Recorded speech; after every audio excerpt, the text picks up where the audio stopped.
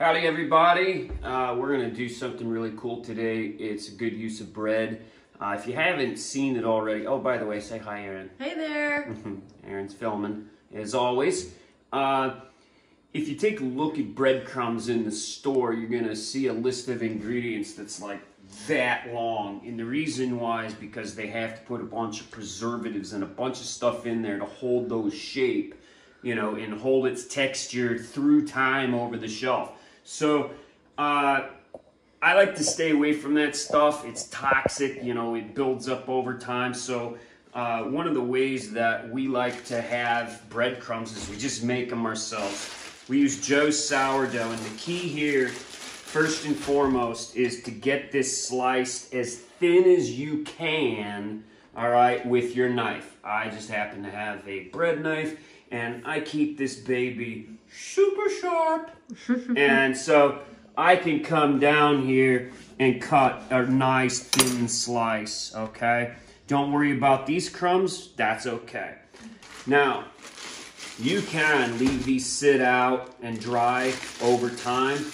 I'm horribly impatient when it comes to these things. So I'm gonna stick these in a 250 degree oven. I'm not gonna check on them for 10 minutes, all right?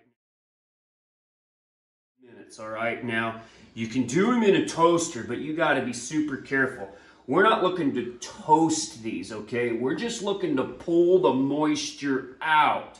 Uh, toasting changes the flavor. It's a good flavor, but it, it, it the toasting really adds this like it, it, doesn't pull all the moisture out you know and if you pull all the moisture out in a toaster you're to burn it it's to taste terrible. Really all we're looking to do is dry these out so we can pound them later. So i'm to stick these in the oven. We're to check back in about 10 minutes and see where we're at uh, and i'll let you know how they're shaping up. All right it has been 25 minutes in the oven at 250 and I've been checking on them and there's still a ways to go. So I'm just gonna give you, and no, it's not that hot. So I'm just gonna give you just, you can see that it's, it's crisping up, okay? But you can feel there's still moisture inside of there. You're gonna want that baby to snap in half, okay? You're just gonna want it to go and break. So we're gonna stick them back in there. I got some other things to do. We'll check back probably in about 10 or 15 minutes. All right, we are 30 minutes and I pulled these out. If you wanna dry them out longer, that's up to you, but you know, that's a good crisp, okay? We're ready to go. Now, about grinding these up. You can try to pound these. I'm telling you, it's a pain, okay? I'm gonna use my Cuisinart Spice Grinder, all right?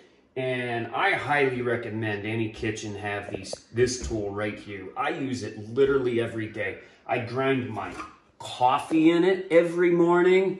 I'll wipe that out and I can throw some rosemary and thyme and sage in there and grind that up and mix that in with my omelet. This is like a $30 tool. There's spice grinders out there that are like $100. You don't need that. 30 bucks is perfect. I bought two of them in case this one breaks.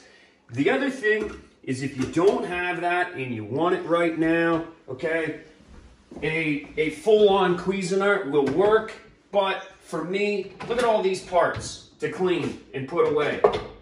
I, I'm about simple, I'm about quick, and I'm gonna do my spice grinders. So what we'll do is I'm just gonna break those up into pieces like that. And the thing about this is you're going to do several batches, all right? It's not going to all happen in once. I'm going to kind of pulse it until, there it goes.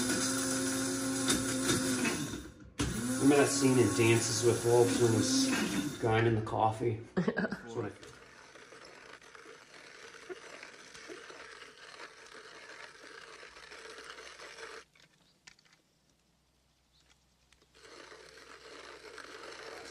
Okay, so this is the consistency that you're looking for. Let's come over here and take a look. See there? That's what you're looking for. You can't get that by pounding it.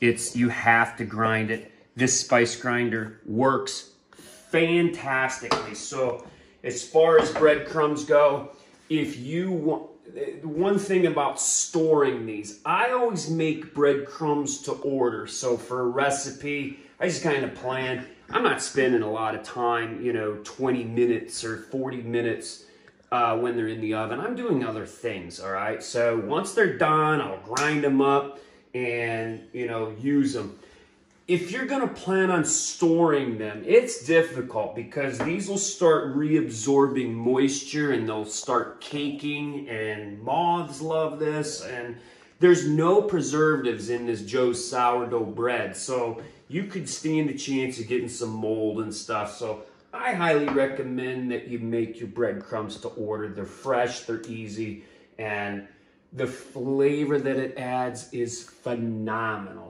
Bam, bam, bam, bam, bam, bam. So I really hope you enjoy. Say goodbye, Aaron. We'll see ya. All right, take care.